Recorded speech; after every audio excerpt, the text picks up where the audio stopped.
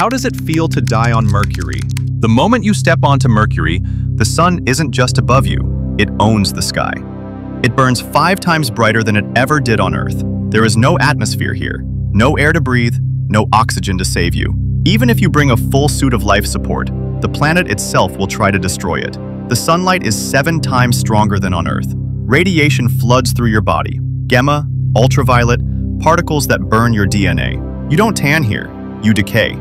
Within the first 30 seconds, your cooling system overheats.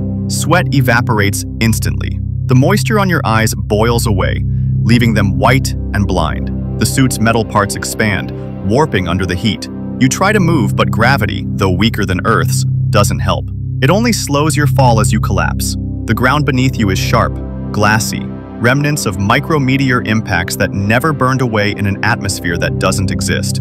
Then you crawl toward the horizon, desperate for shade. And suddenly, everything changes. One step into darkness, and the temperature drops from 430 degrees Celsius to minus 180 degrees Celsius in seconds. The metal in your helmet shrinks, cracks. Your lungs implode as the inner pressure equalizes with vacuum. You don't suffocate, you freeze from the inside out.